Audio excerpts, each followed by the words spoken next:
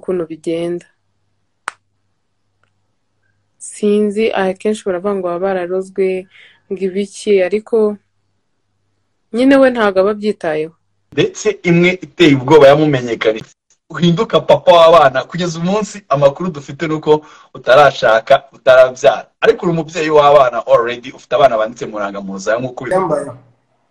Ariko nari nangira kubaho nishimye. Mvuga ngo mfite iwanjye na wa muntu uwo ari we wese wenda uba waragufashe nabi akakubaza urahari sinze ngo usure. Nari nkiri kicukiro. Aho kwa wa wundi? Mm. wari wagutwaye Eh. wow. Undi akenshi hari igihe umwana umukubita akiri muto ukagira ngo ni amafuti ye. Abagabo rimwe na rimwe nyine iyo muganga mukasa aje ari igisubizo kuri benshi. Barakuroze arakuvura.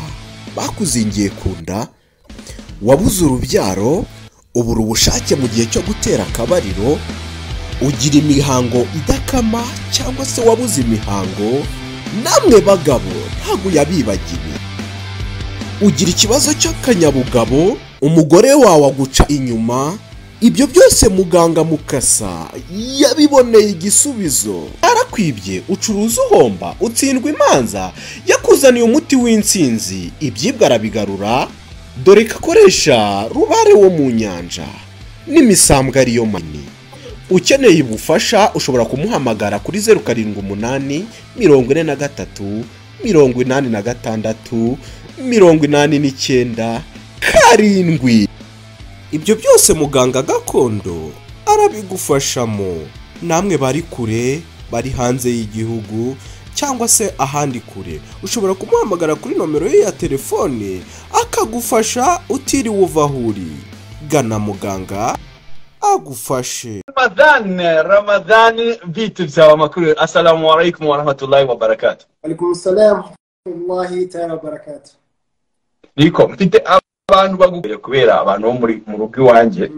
Na urumva ntabwo ndi bwemere mvuga ngo narebaga cyane amafilimi eh, yo mu kinyarwanda. Kubera ndi umuntu umwe ugoye cyane iyo namenyereye biba bigoye. Mbere nari naramenyereye kureba amafilimi muri verisiyo française kera kubera kwa mayaka. Hari harangiye ku buryo filimi yose ngomba kureba nubwo yaba iri ikinyarwanda kugira ngo nyirebe nyumve. Kandi iri mu kinyarwanda uba wagombaga kubanza kuyishyira mu gifaransa. Ngeze muri amerika kubera gushaka kumenya icyongereza nihata icyongereza nihata icyongereza. None ubu byararangiye filimi iri mu cyongereza sinapfa kuyireba. Birangora byatari. So sinzi rero ukuntu nagize gutya nkajya mbona uko ntashye nkabona akantu ngo bamenya muri ko muri televiziyo mu rugo. Uko ntashye bamenya uko ntashye bamenya. Naho si bamenya buri muntu wigeze bamenya mu rugo rwanjye n'indi usigaza ibintu byose. Eh, eh, so biza kurangira nicaye ntangira kuzireba then nza gusanga bro big up kabisa uri umukinnyi mwiza cyane n'abo mukinana umwe nshobora kuba twaraganiriye hano ketchup. Ketchup ubwo nigeze kuganira nawe. Ni uri uwa kabiri mu bakinnyi bo muri bamenya. Nshoboye kwakira thank you so much. Ukuntu nakwakire ngusaba kuza urihangana uravuga ati Alice uyu munsi rero tuyoganira kubifuza kugira icyo muza kumubaza ah, muze kohereza ubutumwa bugufi handi hari akantu kagize gutya k'aka- k'akabazo uze kwandikaho ikibazo. Ariko mu gice cya kabiri cy'ikiganiro ni ho ndi buze kureka abashaka kumubaza kuri telefone mukaza kumubaza. Kuko dushaka tumusobanukirwe. Uwakuvuga hari ibyo byinshi maze kukumenyaho bitewe n'ibiganiro byinshi nagiye nkurikirana byawe nagiye ngusobanukirwa ntibamenya iryo zina benshi twagiye tukumenya ariko ni bene imana ramadani niyo mazina yawe. Bavuga ko wavukiye mu karere ka nyarugenge uvukira mu gace ka nyamirambo uvuka ku mubyeyi eh, ngiye kuvuga ngo uvuga ku mubyeyi umwe nkaho uri yesu. Eh, ahubwo wakuze usanga ubana n'umubyeyi umwe. Nabaraga n'umwe nanjye ni nka yesu. Ubwo nzi umwe nanjye nzi umwe w'umugore.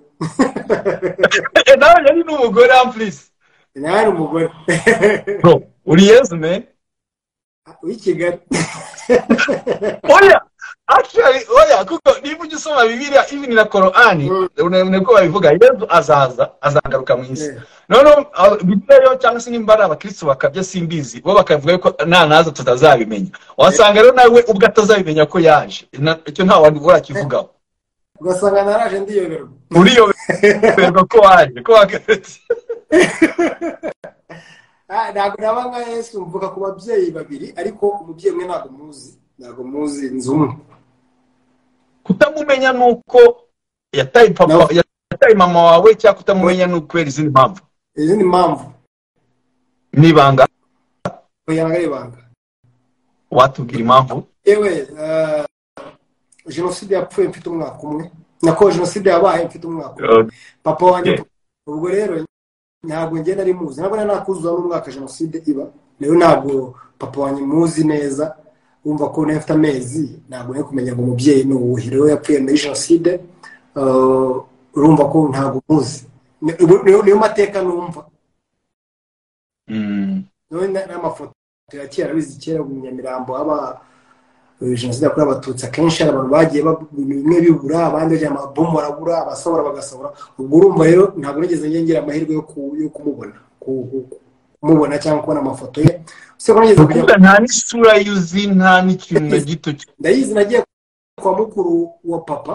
Ubwo ni mukuru Mm. wa papa mu kicukiro mu rundi rugo ruhaba. Ngezeyo nsanga ahubwo igitangaje ikadire ya papa wanjye imanitse y'ifoto principal y'urugo ko ndeba mu rugo hari ifoto principal. Ngeze muri urwo rugo nsanga ifoto principal ni iya papa wanjye. Barambwira ngo ari papa wawe papa wanjye se mwebwe ko atamanitsemo ngo nta foto ye dufite. Hmm, papa wanjye mu rugo rwanyu. Ariko ni noir blanc. Noneho ndavuga ati ufite imyaka ingahe ude kuvura iyo foto? Ubona iyo foto bwa mbere? Nari mfite imyaka irindwi. Nta umuntu wari wakamukwereka wari wakwereka n'iyo foto paka ugejeje ku myaka irindwi. Nanjye nageze mu rugo ndabaza ngo uriya muntu ninde barambwira ngo ni papa wawe. Sinzi niba batarantuburiye. Ariko barambwira ngo ni papa wawe reka twizere ko bataguturiye. Kuko urwo rugo urugarukaho cyane rwo ku kicukiro ushobora kuba ari rwo rugo wagiriyemo umugisha mu bwana bwawe? Cyangwa ni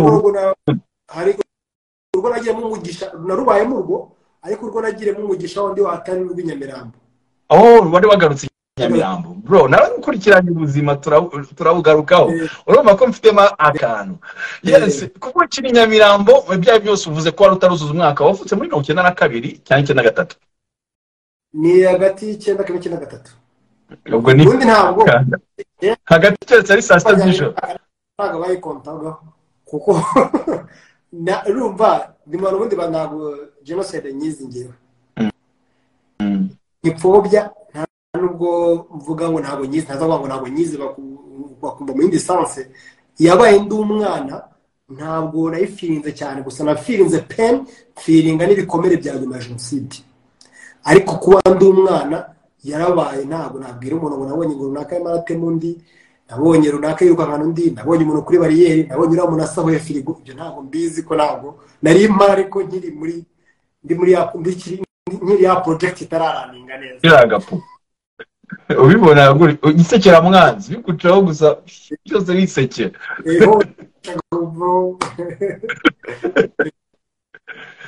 ubwo hari kuri ayo matariki? Mvuka. Mm. nari enye z'ukwa kane enye z'ukwa kane cumi n'enye. Z'ukwa kane Eh, muri mirongo icyenda na gatatu. Eh, ni ukuvuga ngo jenoside eh, kwibuka ah, jenoside yakorewe abatutsi icyenda na kane iyo barimo baribuka uyu munsi barangirije bategereje ya minsi ijana ngo tuyikomeze tuyifunge. Mm. Ah, ni ukuvuga kiriya cyiciro cya mbere cy'iminsi cumi n'ine. Ya cy'iminsi irindwi ya minsi irindwi bayisoza neza nanjye ninjira muri aniveriseri icyunamo ki- kirangira uyu munsi ngewe mpita nangira aniveriseri Ya, birumvikana kabisa. Mama wawe yitwa ndi aracyariho we ariko? Ariho hashira ya papa bakubwiye amateka ye. Amazina uraya- urayazi? Murebwere ndayazi. Aya papa. Aya papa. Nyabwirwa n'abantu kuko iyo muhagiye murabona umuntu akatubwira ngo eh uriya mwana wa manager. Manager? Manager, manager. eh manager the managing iki ariko biravuga manager si yari alex muyoboke. Eh?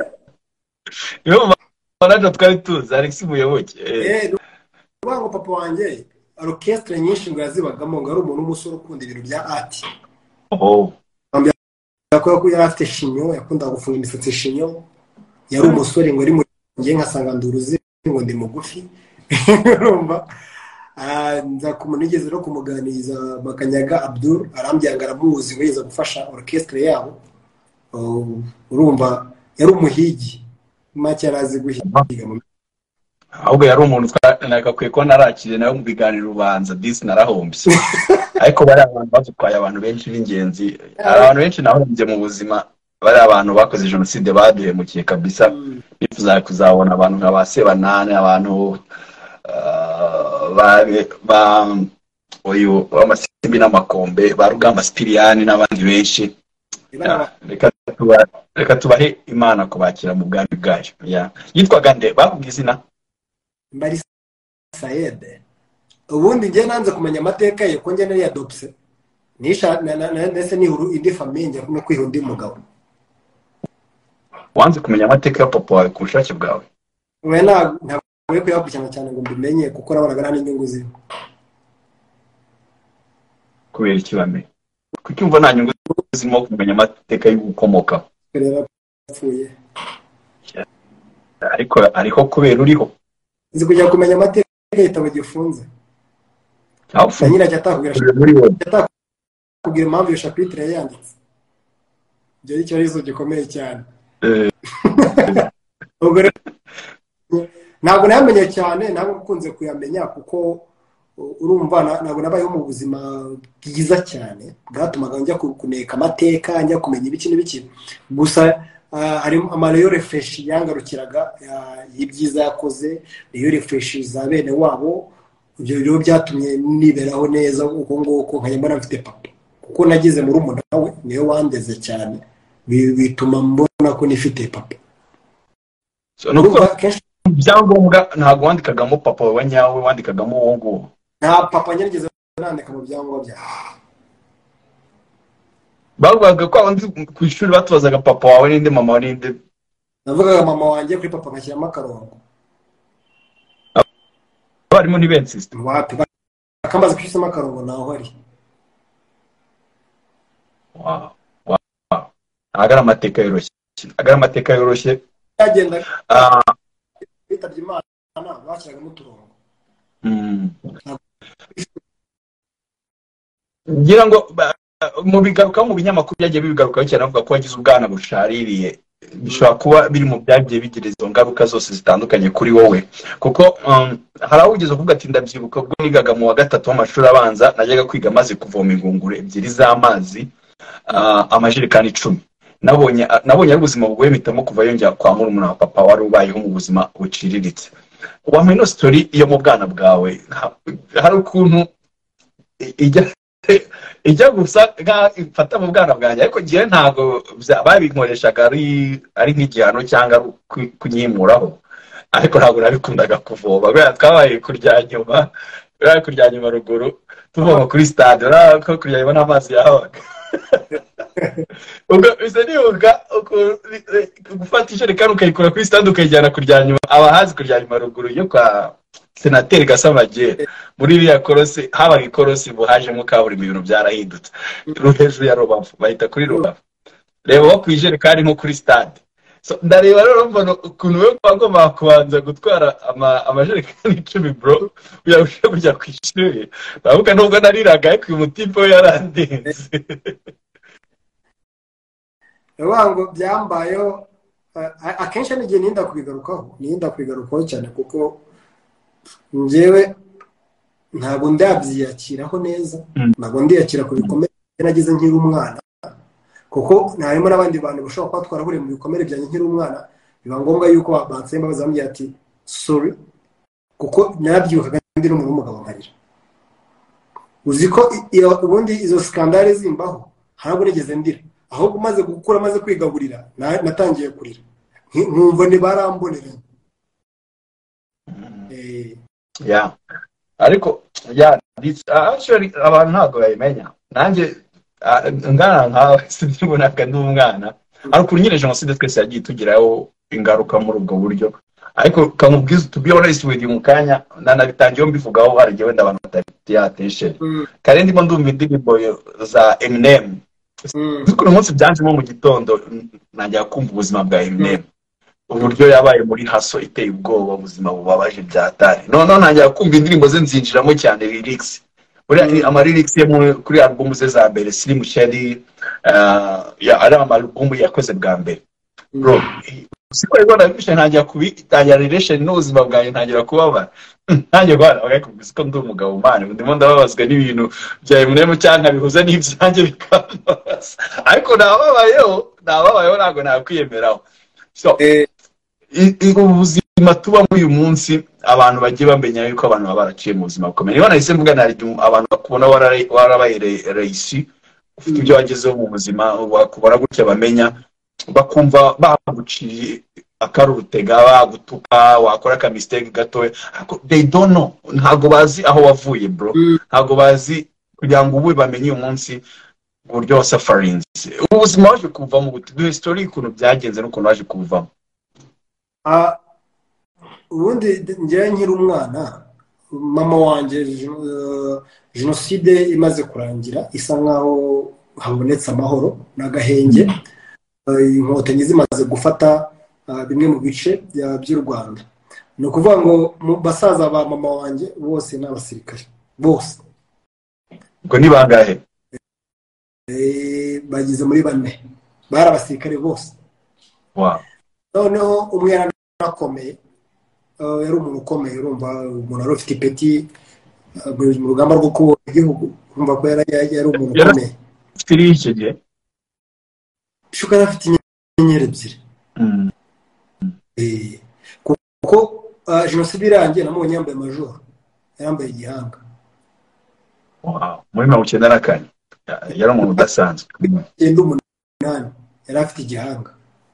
Niko tucyita. Ntabwo simbizi ariko cyita ni izuba rimeje eh. Eh, dufite igihanga nyine twese ntabwo kenshi ni ikiranganegora ariko tukita igihanga. Eh, niko abantu bacyita. Sinzi impamvu bahisemo iryo jambo ariko niko nanjye njya numva bacyita. Eh. Eh. igihanga yasi igihanga. Ah, ubwo rero we mama wanjye ambyara njye yambyaye afite imyaka cumi n'irindwi yari yarabyaye na mukuru wanjye. Uh, mukuru wanjye yamubyaye mu myaka cumi n'itanu. Urumva twaje dukurikiranye na mukuru wanjye. Urumva ah, jenoside yabaye ari mutoya. Noneho papa wanjye yari afite abandi bana. Ah, papa wanjye yari afite abandi bana abasigira mama wanjye urumva nyine amaze kwitaba imana yabasigiye mama wanjye bose bagaruka mu rugo. Birangira rero ari umukobwa w'imyaka mikeya ufite abana benshi agomba kwitaho. Abana ba papa bose ko mama yari umugore wa kabiri. Ah, ubwo noneho ah, kumukuza ntabwo ari kubarira bose ngo bishoboke. Yari umwana uturuka i Nyanza ya Butare ntabwo yari azi Kigali yari akiri mutoya baramurongo afite cumi ubu ngubu kano kanya ubu bagiye gufata aba- abantu basigaye bafata abana batujuje imyaka. Ababyeyi bacu baba bafitwe. Waje ukuntu yashatse mu wawe ntabwo ari uje cumi n'umunani nawe.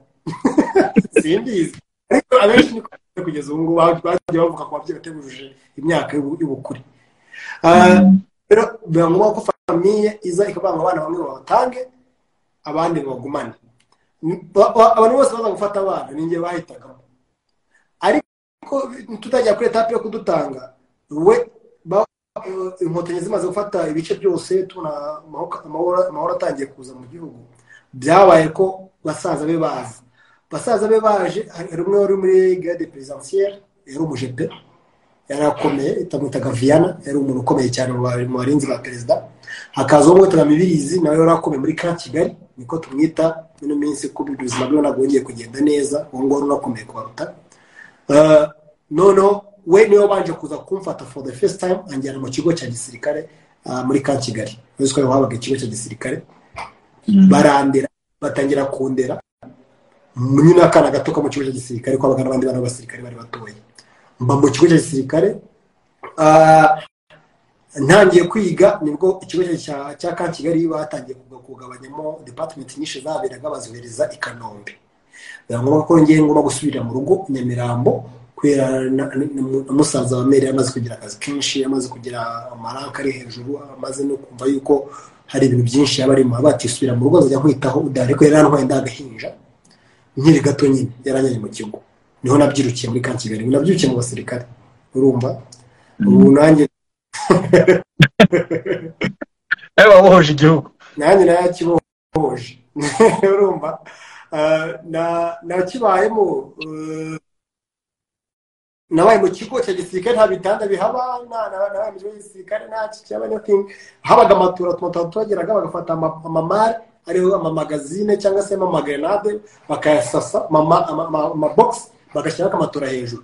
Abana bakarara aho ngaho hejuru ko kiriya kigo buri inkotanyi mujye muzubaha muzikubitire sebeti munazitinye kuko babayeho mu buzima busharire my friend. Hey, ntuzabone baratera imikindo ku muhanda bagira ngo kaburimbo zise neza baza aho bigeze kuba bigeze kuba mu mucafu hatari.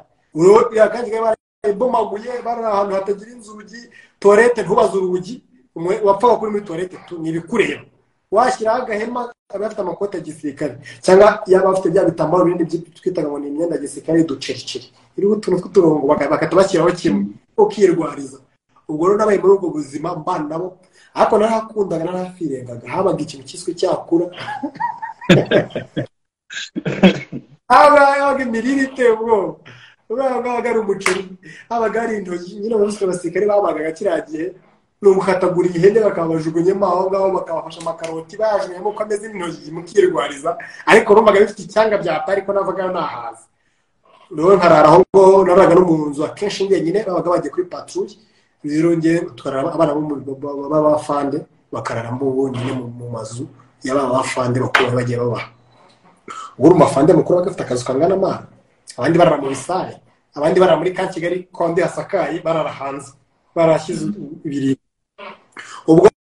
Ngaho rero ayo mateka mbere nyavuzeho abenshi ntabwo bayazi aho ngaho rero nabaye eh, kugira ngo nuko mpita nsubira mu rugo. Aho bita comeback nsubira mu rugo. Nsubiye mu rugo rero basi bana ko tumaze ko abana benshi mbere bari bari bari kwa meti. Umufate ubwo nuko nagiye kicukiro rero. Baje gufata akana akana k'inzobe kari gafite kasharagutse cyane ati kano. K'agasirikare. Ubwo wari usigaye wiyumva nk'umusirikare nari ndiwe kuba inkotanyi hari ikintu byasabaga njye nabaga mu kigo cya gisirikare bajya kuri parede mu gitondo nanjye nkajyana nabo. Ngo ubundi buzima bwa gisirikare nabushinga ko nabanye nabo igihe kinini nabyirutse mbo mbona nyine nziruka tujya kuba ngo tujye nkaterura imbunda nkashyira ku ruhande nkabamo ndanagura botine z'abasirikare bamwe na bamwe babaga baje kugira ngo dutware agasuku kabo. My friend bari abantu barababaye. Harimo n'uwakwitaga wambaraga nka- botine zino z'umukara cyangwa zino zisa nk'icyatsi kijimye n'amasogisi y'ikiringiti akakwita turajuru atanabikuramo yakuramo ukumva ifu kiteye ubwoba. Ubwo bakina batari gukora no kujya kutwese amasogisi y'umuntu ugahita umanika nyine abana bo mu kigo bari babizi neza ko ugomba kubaha umusirikare mukuru igihe cyose avuye kuba yava ahantu bari bamwohereje ubwo natwe twabaga twiteguye ni ukujya kwiga abana babaga baba baje kubigisha aho ngaho mu kigo waba kwiga ukaba urimo wita ku bintu bya papa wawe cyangwa se urimo wita ku bintu by'undi muntu ukuzanye muri icyo kigo. Ubwo ni uko byari bimeze. Database akenshi nari ndimo kuba bafata lisite y'abantu bose bo mu kigo nyine cya gisirikare nari mutoya ariko ntabwo ndi kuri lisite ubona ko bafana ariko bagitaga ubwo rero nsubira nsubira mu rugo umwana wo kwa fanda asubiye mu rugo nsubiyeyo ni ho ubuzima bwe bwahise buba kubaza kuntwara wari wa- wari wa- wari wajya kugura ihene Navuga ntorire oya ugiye kugura ihene bareba ihene mu isoko mu ihene. Bafata ihene bakayiha amaminwa bagasukamo n'amazi. Iyo bibaye byiza bahita bakubitamo ka siriduwiri cyangwa se icyo bitaga akanyanga. Bakubitamo nk'amamiligarame makeya muri ya maminwa noneho ihene iri mu isoko y'isekuru iba yasaze irimo iragenda ikubita noneho umuntu aje kugura ihene agura ihene yasaze. Ah nguriya niyo nshaka ifite kuraje iriya nyine. Bika- hari icyo bifasha mu kuyirya se mu nyama cyangwa kuri burusheti oya ibafasha kwerekana ko nta ndwara ifite. Iyo ngiyo iri kuru nyine. Kandi bayisajije.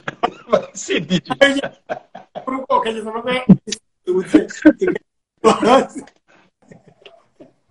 Ntago- abacuruzi ntabwo ari abana beza. Abantu bagura ihene barabizi ko ibyo bintu ku ihene bakunda kubikura ihene nyine ishoragutse niyo baba bashaka ubundi. Eh, nanjye rero baje bara nk'ihene. Baraza barareba. Umwana ushoragutse urimo akora ku bashyitsi. Urimo hagati uyu ni we dushaka. Ubwo rero ni uko nguko baje baba barantwaye bantwaye banjyana muri famiye ni uko nguko. Sori ko ndimo ndirangiye nyine nanjye meze neza aho mbona ntari ndi ku- ku ya nyagasani? Eh, baba baraje barantwaye hangeza aho ngaho kicukiro ni ho nagiye kuba mba mu buzima bugiye bucangacanze nabaye hano runaka ejo navuye hano ejo bundi nagiye hariya. Muri make nemeza nk'undi mudakina vuba n'indi muri rotasiyo za hatari za famiye Mm. genda neza uh, nkigira disipurine uh, ubundi ha- hari ahantu nabaye nubwo nabaye mu buzima muri strong buvunanye ku mwana ukiri mutoya ariko nahigiye ikintu cyitwa kwihangana.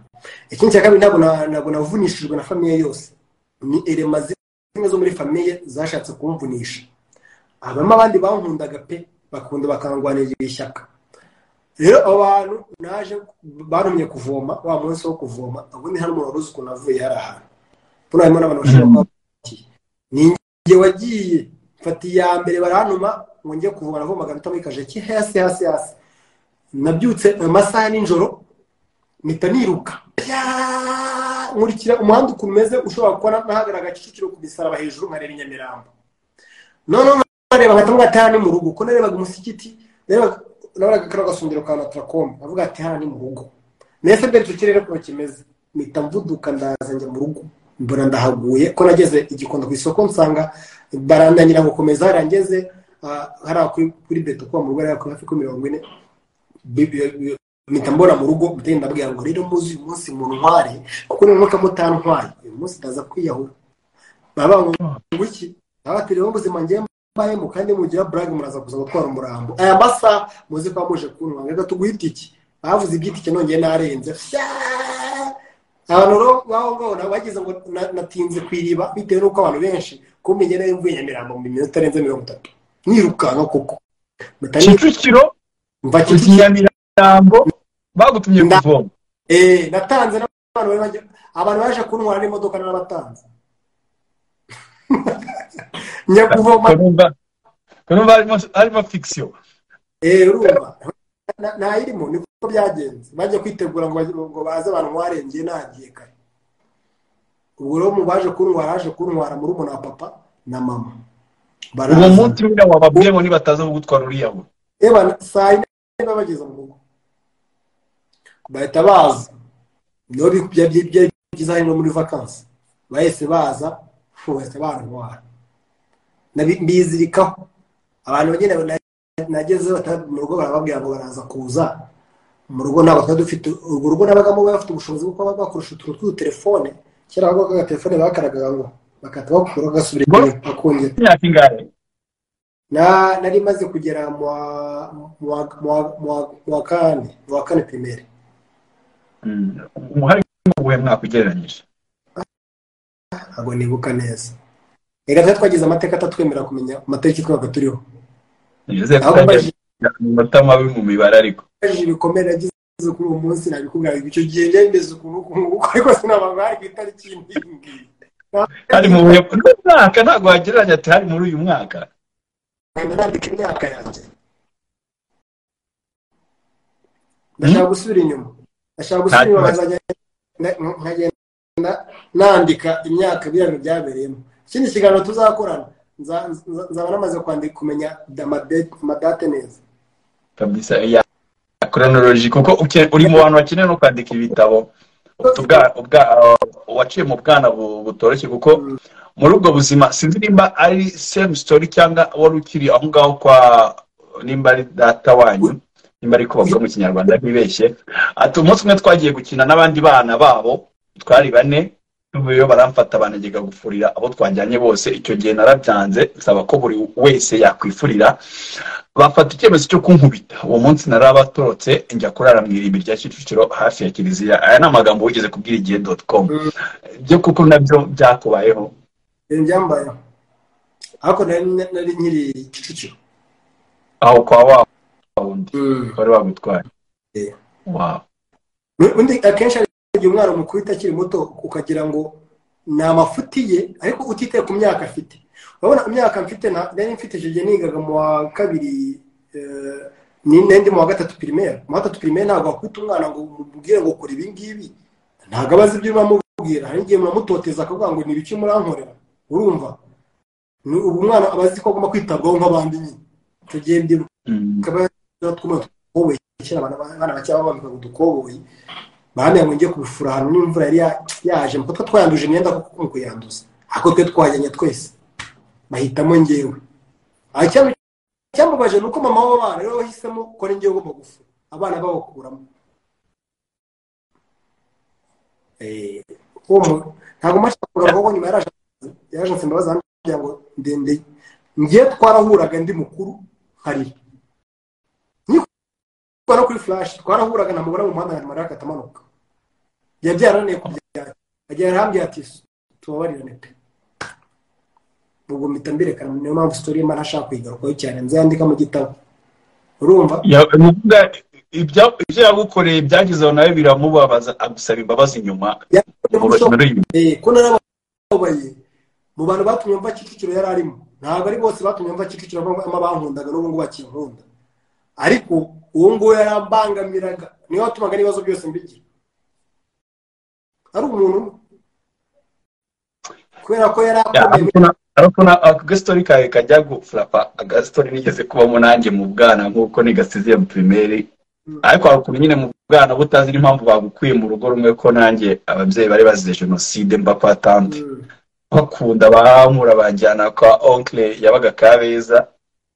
Njya kuhaba rero then nyine uburyo bamfasha aho hantu ntabwo ndi umwana byanshimishije kugeza aho bantumye kujya guhaha Mm. mpita ngenda taxi bwa mbere nari nitegeye ntega taxi nsubiza i nyamirambo ndavuga ntabwo nzasubira kuhaba ata- nimba ari ibikomere Mm. baragize muri jenoside bikabatera ikibazo. Noneho bigakuta natwe w'abana be bagiye kongera kurera. Ntibihuze. Ibikomere- ko ari ibyo. Ntabwo nibaza ko ari ibyo. Nibaza ko hari ababyeyi ntazi uko bameze. Kuko ntabwo ariko bose bameze. Ntabwo ariko ababyeyi bose bameze. Barera abana b'imfubyi cyangwa se barera abana batari ababo. Ni ikintu ababyeyi banatwumva niba badukurikiye bagomba guhinduka mu buryo bafata abana. Gerageza gufata abana bose urera kimwe mbega nu- nutangira kumva ko uyu ari uwawe uyu atari uwawe ntaho biba byapfiriye kuko igihe cyose wumva ko bose ari abawe ubafata kimwe abana benshi bezungu bafite amadepresiyo ya famiye bakuriyemo bafite ibibazo byagiye harimo n'ibintu bitugarukamo uka- ugasanga dushobora no guhemukira abantu bit- bitari ngombwa. Cyangwa ukabona umuntu akwereka kuki nta kintu ujya witaho akenshi ajya nyuma y'aho ngo nta bintu njya nitaho cyangwa nta bintu njya bimbabaza hari igihe njya ndeba utuntu umuntu ankoreye nkabona ntabwo mbikompara nk'ibintu byaba byarambayeho. Avuga ati dogo urandakaza iki? Cyangwa ugasanga arandakaje ndakaye bi too much. Akavuga ati se wakoreye akantu gato karaka bi too much kumbi yamarana akazi uburakari nabitse ashaka ubukarisa akabubyutsa. Muri shimi muri shimi habamo akantu bita katalizeri Eh, definition yonyine yashima inzi enkatazer niyo yonyine nibuka enkatazer c'est un composé qui permet la réaction. Eh, wakunda ufata ikibyimba ukagisiga urunyanya kigatangira gushaka ukagisiga amakara avanze n'amavuta y'inka kigashaka kongera guturika. Iyo zo nizo bita katalizeri hanyuma ushobora ntabwo ari wowe wateye ikibyimba ariko utwo tuntu usizeho dushobora guturitsa cya kibyimba. Hanyuma ushobora kuba atari wowe wanteye ikibazo ariko wowe ibintu ugiye kumbwira ako kanya. Bikaba bigiye kuba byabyutsa bya bintu byose byambayeho nkahita mbikukubitaho byose. Niyo mpamvu n'abantu bazajya bajya babadiringa n'abantu mujye mwihanganira abantu hari igihe umuntu wamubwira ikintu akakubyukana kumva akubyukanye ku mateka ukagira ngo kuvuga ngo uriya muntu tuzingiye ikibazo. Yandakara bigeze hariya. Kumbi ushatse kumurakaza uburakari yarakaye mu myaka ine ishize yirengagije. Nk'igito- ni igikomere umuntu aba yongeye gukomeretsa. Eh, uko afite inkovu. Ya nkovu ukazana umuseno ukayisena.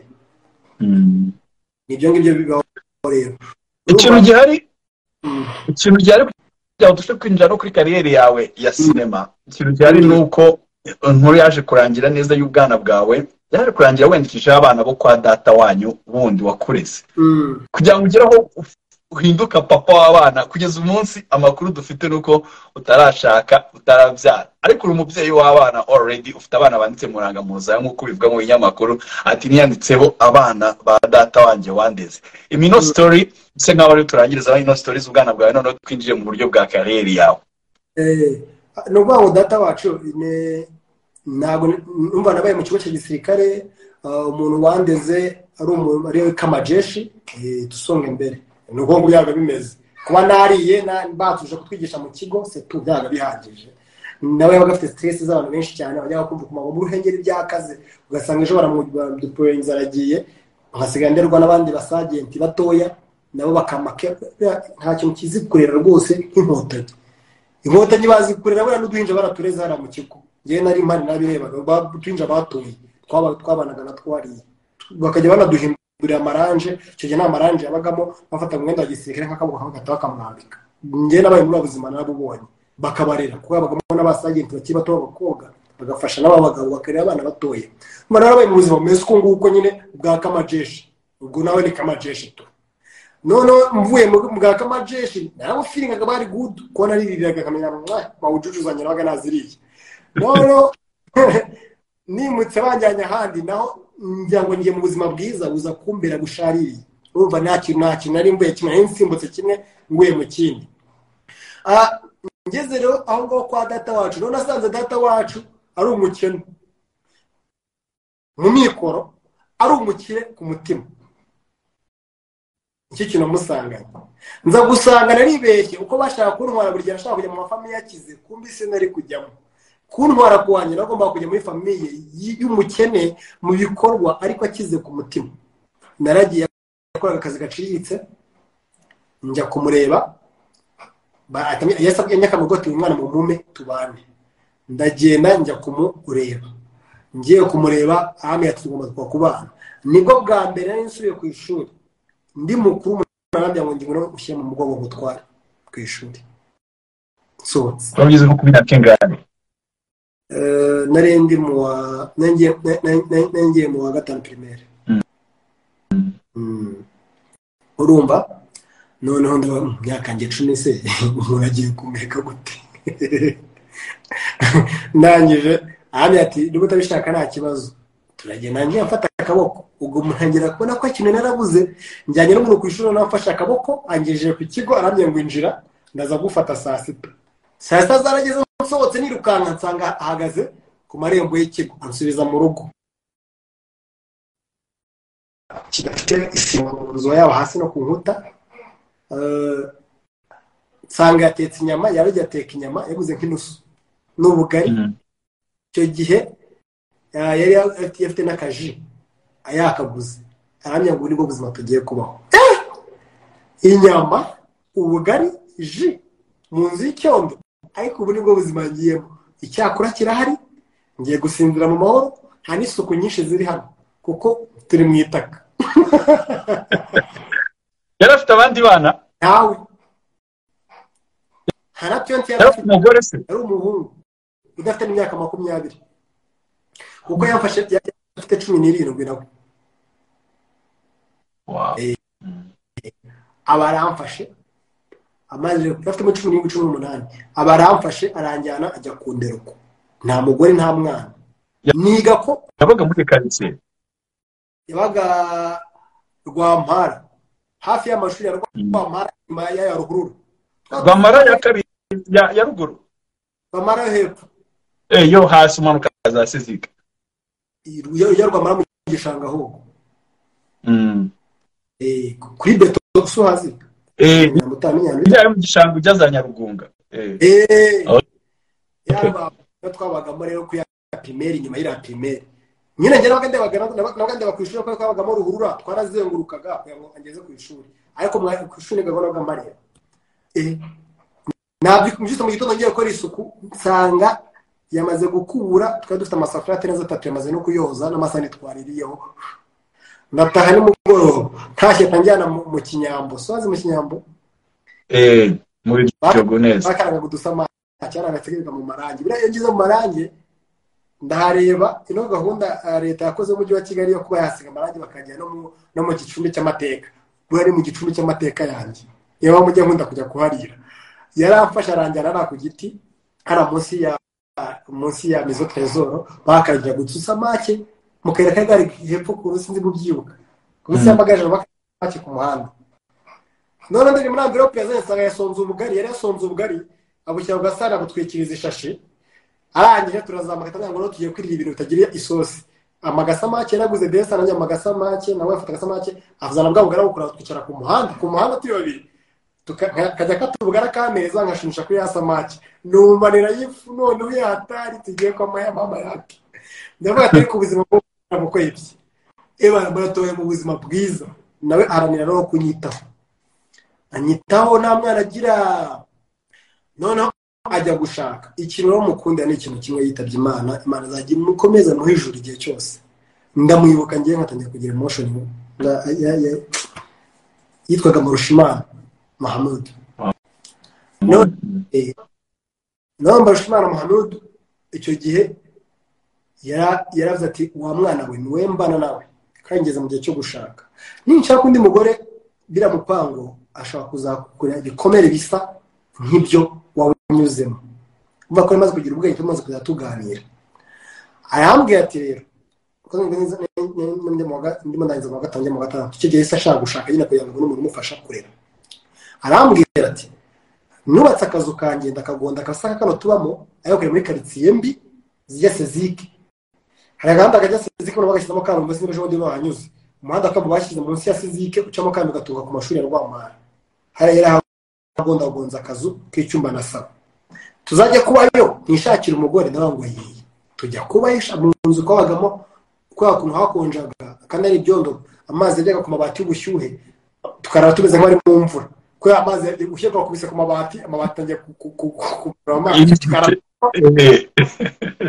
nkumva ni byiza nkumva ni ibintu byahatari kubona mbayeho mu mahoro. Kandi nari mvuye mu rugo rufite amakaro hahandi ndangije rero ataba ati ikintu ngiye gukora cyiza gifuti ngiye kuguha. Ngiye gushaka muri umuntu mama wawe. Ikindi yakoze yahise arongora muri umuntu mama wanjye. Ubwo nderwa na data wacu muri umuntu papa wanjye. Agiye kurongorongora muri umuntu wanjye zana mama wacu. Ubwo muri umuntu wa papa wawe yarongoye muri umuntu wa mama wawe. Eh, kugira ngo bandere Eh, aravuga ngo uyu mugore nzanye nagukubita ntabwo azagukubita nka mukaso. Azagukubita nka nyoko wanyu. Uzajya ubona ko ari nyoko Nuko kandi yabikoze kubera wowe nuko byabaye bi- bi- bi- bahita babana bamaze kubana. Ubwo umugore yankubitaga umugabo ati reka reka reka ku mwana mukuru wanjye. Ubwo bamara gushwana nkatajya noneho ku- mugabo. We uyu mwana wa mukuru wanjye uyu mwana wa murebwa nyine mundekere mukubite interotasiyo za famiye ubwo urumva njyewe nesa mfiringa family nesa mbona papa? Mm. mbona na na mama. Mm. bose njya gusubira mu rugo. Nta nubwo nzi mu rugo buriya ngiye exactly. Mu rugo ni kuri mirongo ine. Ariko maze imyaka cumi n'ibiri ntarakandagira mu rugo. What do you mean utarakandagira mu rugo? Ntabwo makunda ni ukuvuga hashize imyaka cumi n'ine utarakandagiza ikirenge mu rugo kwa mama. Mama yarimutse hasigara abakuru banjye. Kuva uwo munsi sindajya gusura abakuru banjye. Duhurira mu hashize muhanda imyaka cumi n'ine. Kandi ndahaca mu munsi n'imodoka. Nkatira ku rupangu rwabo. Umutima uranjyana kuko nahavuye nkiri umwana nawe yatari bambwiye ngo tugiye kugurisha tugabaye bati muzagurishe musangire amafaranga yose muyamare njye ntabwo ndimo kuko njye mfite indi famiye nagiyemo. Nari adopse nyine kugira ngo nari adopse neza njya ahantu mu mwana waho fura umukoko ndi adopta no ku mitungo bakampaho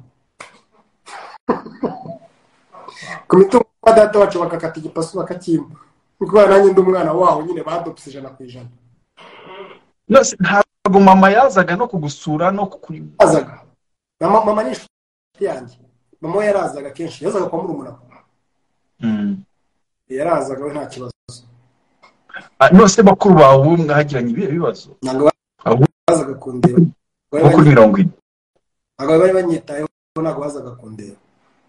Nta nubwo bagusaba imbabazi se n'uyu munsi wabaye n'icyamamare. Byibura bavuga ati kuko iyo ubaye n'icyamamare abantu batajya no kukurata ahantu hose uyu ni umwana wacu. Ndata rwose niyo manitse ku cyapa mukuru wanjye aragenda akajya ku cyapa ngo kino cyapa cya eyateri amanitseho ni murumuna wanjye ntimukamukinishe bikarangira aho ngaho.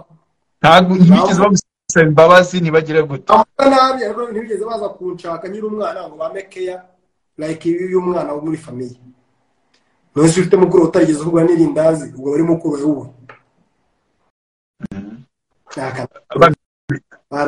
ntabwo wumva se byibura hari igihe kizagera? Kugira ngo ikibazo gikemuke burundu kugira ngo n'ibyo bibazo byakubayeho bishyire burundu ari ukongera kumvikana n'abavandimwe bawe bose. Ntabwo ntabwo dushwana bakuru banjye we ntabwo mvuga gushwana no kuhakandagiza ikirenge aba ari ikibazo. Bibereye mu isi yabo. Mujya muhura se rwose mukamuganira. Babyitayeho nabo turahura hashize nk'imyaka ibiri tutarabona na twese tuba mu mujyi. Akatanera pisi wa peti frere ngo koma koma sava ngo umeze neza se meze neza. Ah sawa. Igahita birangira uratangira bavuga ntibibera mu isi yabo ntabwo mbega nabo nta kibazo bafite. Ntabwo ariko ndi kubureninga umuntu wabona kugiriye nabi. Bakubonye ntabwo bigeze bangirira nabi. Ahubwo bibera mu isi yabo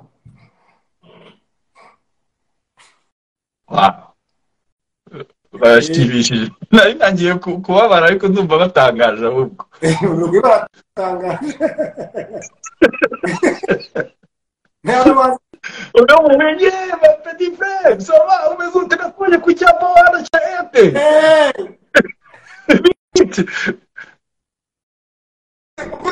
Umwana wanjye ubona byinshi ubundi ngo agize imyaka irindwi ngo ko utaje kumureba warabyaye se ngo yiyashize seven years umwana agiye kujya muri primaire ati nzaza kumureba. Ngo yego petit frere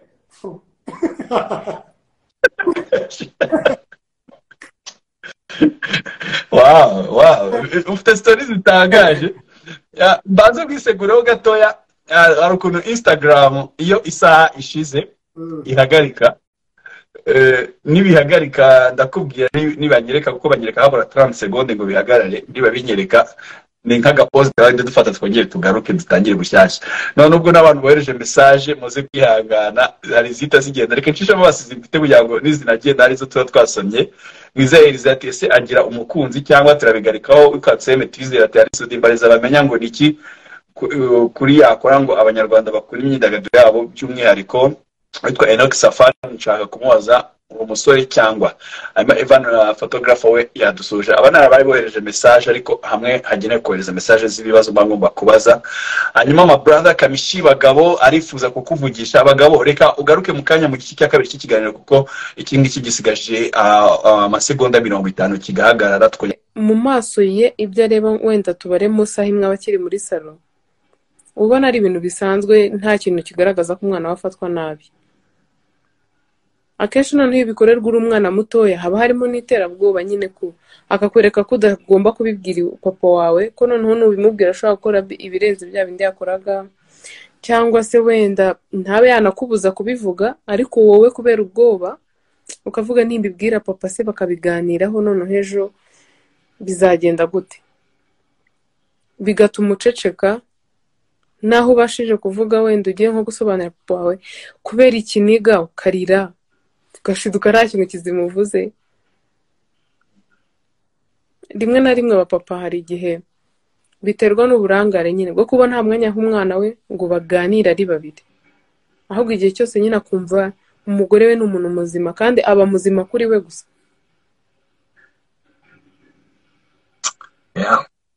Abagabo turabo kuba blamed natwe kabisa. Nta especially abagabo bo mu rwanda ariko. sinzi niba ari nabo mu bindi bihugu bya afurika ariko bameze ariko abagabo nabonye ahangaha aho ntuye bo batandukanye nabi iwacu. Kuko ubuzima bwa hano bubafosinga ku- ku- ku- kumenya uko abana babo babayeho uko batekereza n'uko bagira. Ariko abagabo b'iwacu muri sosiyete iwacu ni ukuri. Mugerageze guha umwanya